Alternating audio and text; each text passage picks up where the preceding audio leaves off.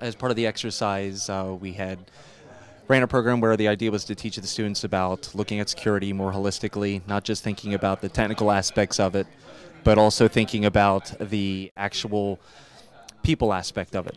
So worrying about or considering the people that sit next to him may not necessarily be on the same team. So what we had done is schedule out a plan where I would go in and interview all the students I could get a hold of. And basically I would ask them very generic questions about what school are they from, what team are they on. Then through the mix, I would start to asking questions that would provide us, Red Cell, more important information. Uh, in this case, I would ask questions along the lines of, so who's your team lead? Uh, what boxes are giving you the most trouble? Is Red Cell compromised any of your boxes? Have you recognized that they've been compromised? And what have you done to try to mitigate or get rid of Red Cell from your machines? All information that us on the Red Cell can turn around and use to kind of change our pattern of attack. We can kind of manipulate the way we're going after them or even change our IPs if we think they're starting to get close to submitting what's considered an incident report, in which case they could come and arrest somebody from the Red Cell. What has been the best challenge or the hardest challenge for you? Has it been the Windows boxes? Has it been Linux? Has it been the networking side, like the firewall? Uh, actually, I think by far the the most difficult thing that they've thrown at us this year is the injects. The injects have been really difficult, and I know at least our team we've been having trouble with them. I mean, it's a lot of stuff. You, you, can't really predict it. You only have one research machine. You have a very limited time to implement some of these things, and they're not they're not simple things. So you know, we've been getting a little hammered on the injects, but you know. How about from the red cell? Do you feel they've been beating on you? Have you caught them in any machines? Um, we've we've definitely felt uh, a red cell influence on our Linux machines. We've been suffering a little bit there. We haven't found anything explicitly on our Windows machines. It's not to say that they haven't been there. We just haven't found them there. Are you the team lead for your? No, no. Actually, uh, Madeline is the team lead. She's the uh, redheaded girl on our team, which is kind of cool because I think there's only uh, ourselves and one other team that has a girl on the team. So. And how would you rate her performance for all this? Uh, she's very organized. Yeah, she's very organized, so she definitely keeps us in line. Um, yeah, if it wasn't for her, who knows? We might have been late here. You, you, you name it. Uh, you got to have a very organized team captain. Now, is Madeline? Um, obviously, she must go to the same school. Is she? Where is she in um, the scale? Is she a graduate student? She a senior? She new to these events? She's also new to these events. I think she's a junior right now, um, so she's gonna be a senior next year. So she's gonna, you know, uh, probably be hopefully running the whole show next year when the new groups come in. Very cool. Um, you had mentioned that you've seen some activity within the boxes. Um, what has been your strategy for kind of taking care of it or getting them out? Um, well, initially at first, we would just try to kill the process, just dump them out. But right now, we're trying to actually collect some data to fill out some incident reports because some incident reports are actually needed to, you know, get points and win in the in the uh, competition.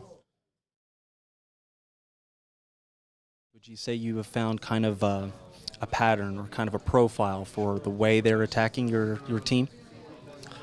Um, yeah, I mean, it, it, there's kind of a pattern. I mean, they already had the bash compromise when we got there, so it was it was it was kind of like uh, you know like we, we tried disabling the services and then we realized about 30 40 minutes into it that bash was compromised. So we had to uh, switch bash and then we found out that it wasn't bash and you know it was just it was just one thing after another so it's it's kind of unpredictable and it's it's hard to narrow down and isolate what the actual problem is because there's so many possibilities so do you feel that you guys have been able to identify um, a certain uh, red cell part or person or you must have some uh, ip we, addresses i assume yeah, yeah, we have some IP addresses, and we've actually been talking to them back and forth on the computer because they they were on our server. That's awesome. So you're actually interacting with Red Cell. Yeah, yeah. We touched a file like leave us alone, and they said no. yeah, it was yeah.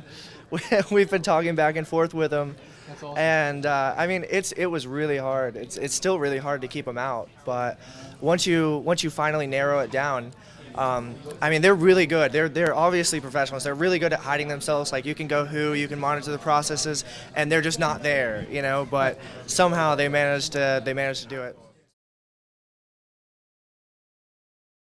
Anything else you would like to say about the CCDC event? Have you found it to be, you know, I know it's a ton of stress, but have you found it to be educational? Uh, definitely. Like, if I didn't join this team, I wouldn't know like anything about Linux systems at all. So I'm just happy that I got the chance to learn and come here and experience it firsthand. Do you feel you're getting a lot out of the security education about being in this kind of live fire exercise? Definitely. This is like pretty much opened my eyes to like cybersecurity, and it's just it's awesome. Awesome. Will, thank you so much. Day two. I mean, what do you think? What's been what's been the challenge for you? Uh, I don't know. It's just uh, it's been interesting. We uh, at, at Towson we have this case studies class that's kind of like this. Uh, we set it up. We run attacks on each other's networks, and I thought I was prepared coming in. A lot of us did, and it's just like red team is intense. They know what they're doing. Uh, they're on their stuff, and they, they keep you going. Um, I mean, you're, you're exhausted at the end of the day, but at the same time, you don't want to leave your computer because you're terrified that red team's going to break something. So, so tell me a little bit about that. What has uh, red team been able to get into, or what have you like been able to find? Well, uh, sorry about that. Um, one of the big things is, I mean, they've uh, they've been hitting us a lot with uh, IPv6, and uh, that's that's been a big deal for us. Um, we're we're working on securing that.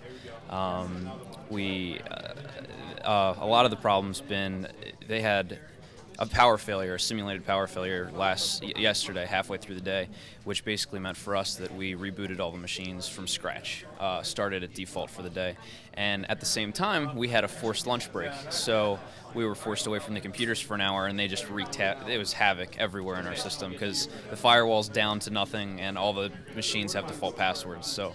Uh, that was one of the big things they did. Locked us out of a couple machines there, and uh, we're still still recovering from that. Um, just so we come clean, I'm Red Cell. So everybody who I got a chance to speak to, you were basically kind of duped in a way. And it was played up and you guys kind of had a disadvantage because the way we set it up, it looked legit. Uh, in fact, some of you even said to me, hey, well, you know, you, are not Red Cell, I can tell. You don't look like Red Cell.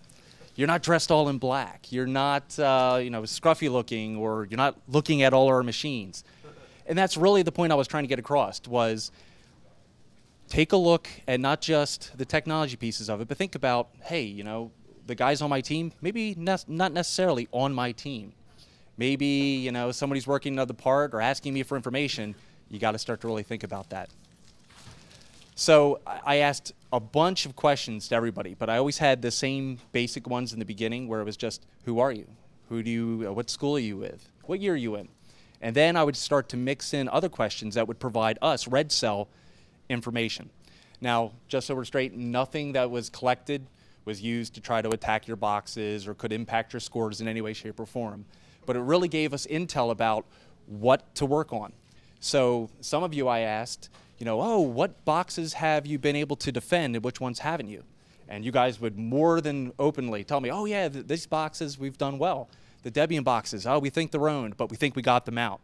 Oh, we're submitting an incident report for a specific IP address. All that type of intel, I'm running back to Red Cell and saying, hey guys, we need to change our IP addresses. They're, they're on to us. Um, it's really just to give you guys a sense that you have to think about who's around you. Don't just think about securing the perimeter, but really think about all the pieces of security.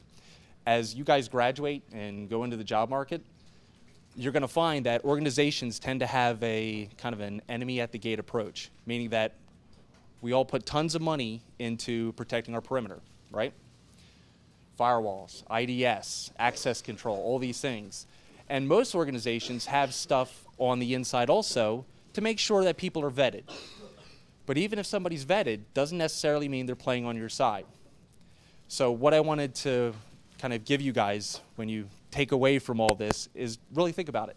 Security is not just the technology pieces and the bits and the bytes, it's all the other little aspects.